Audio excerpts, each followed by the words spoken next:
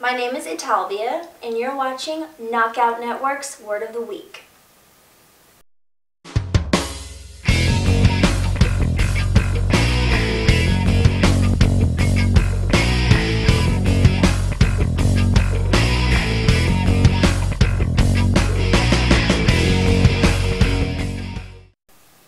This week's word is schadenfreude, which is satisfaction or pleasure obtained at someone else's expense.